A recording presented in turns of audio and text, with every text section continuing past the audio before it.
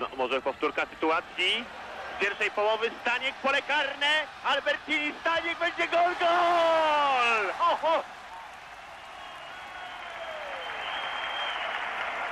Teraz ze spokojem będziemy mogli patrzeć na drugą, przebieg drugiej połowy.